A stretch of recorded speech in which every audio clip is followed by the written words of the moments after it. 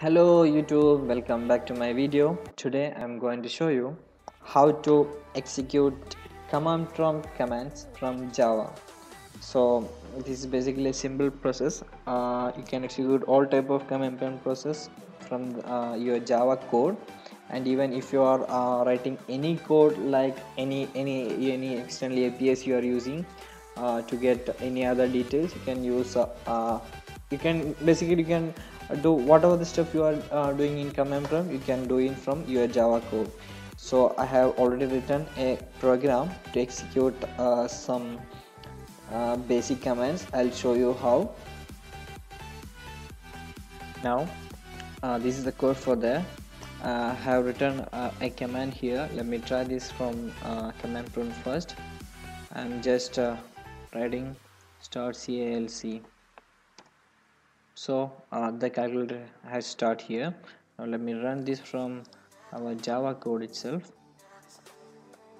Here here we go. The code is running. I mean the calculator uh, came up.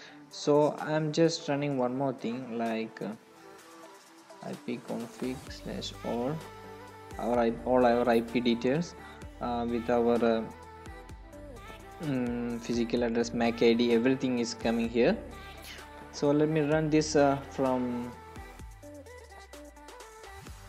uh, command prompt again. So ipv4 address at 100.7 let me try this from my cmd also.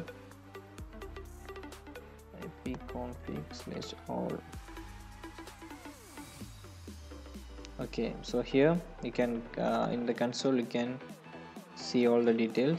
So if you want uh, to get this uh, from your server anything like any uh, command prompt you can uh, run this one.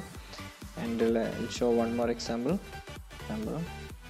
Uh, I'm just config slash all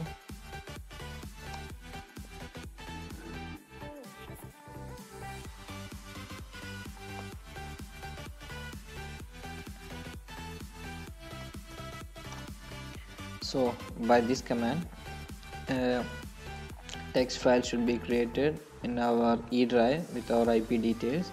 So let me try this same from our java code also.